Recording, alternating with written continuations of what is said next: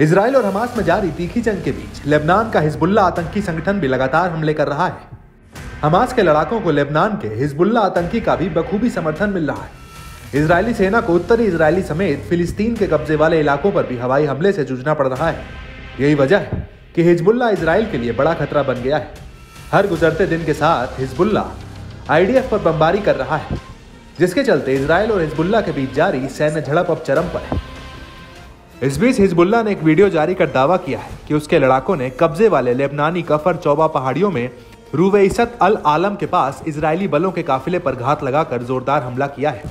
माना जा रहा है कि इस हमले में इजरायली बलों को काफ़ी नुकसान पहुँचा है। हालाँकि इजरायली डिफेंस फोर्स ने हिजबुल्ला के हमले के दावे पर कोई बयान नहीं दिया है।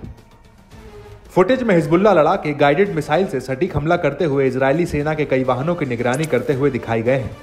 दावा है कि जब हिजबुल्ला रुवैसत अल आलम साइट पर तोप खाने के गोले से बमबारी कर रहा था। तब इजरायली सेना अपने हताहतों की संख्या को जानने के लिए स्मोक स्क्रीन का उपयोग कर रही थी। इस दौरान कई वाहनों ने पीछे हटने की कोशिश की तो फाइटर्स ने सटीक मिसाइल हमला कर तबाही मचाई। प्रतिरोध ने तोप खाने के गोले के साथ कई मिसाइलों से हमला कर इजरायली बलों को नुकसान पहुँचाया है। बताया जा रहा है कि हिजबुल्ला लड़ाके एडवांस तकनीक से लैस हथियारों और लंबी दूरी के कैमरों के ज़रिए इजरायली सैन्य बलों की गतिविधियों की बारीकियों की निगरानी कर रहे हैं। जिससे वे अपने सटीक लक्ष्यों को टारगेट करने वाली एंटी गाइडेड मिसाइलों से लगातार हमला बोल रहे हैं। दावा है कि हालिया हमलों में हिजबुल्ला ने इसराइली बलों पर मॉडर्न तकनीक वाले हथियारों का इस्तेमाल बढ़ाया है, जिनकी मारक क्षमता एकदम सटीक रहती है।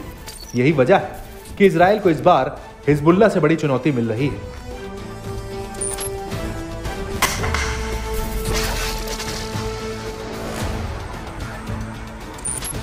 अल मायदीन की खबर के मुताबिक हिजबुल्ला ने इसराइल पर अपने हमलों का डेटा शेयर कर बताया है कि इसराइली सैन्य ठिकानों पर पचपन हमले, इसराइली सीमा स्थलों पर 1112 हमले, इसराइली सैन्य ठिकानों पर 70 हमले, इसराइली हवाई वस्तुओं और विमानों पर इक्यावन हमले, इसराइली बस्तियों पर एक सौ छियासी हमले किए गए हैं। इस्लामिक प्रतिरोध ने यह भी खुलासा किया है कि उसने 77 स्नाइपर या ऑटोमेटिक हथियार, सात सौ सत्ताईस ज़मीन से ज़मीन पर मार करने वाले रॉकेट और मिसाइल सिस्टम, तीन तोपें 546 anti tank guided missile system 55 drone हमले 50 वायु रक्षा प्रणालियाँ 17 विस्फोटक उपकरण 136 सीधे हमले के हथियार दागे हैं।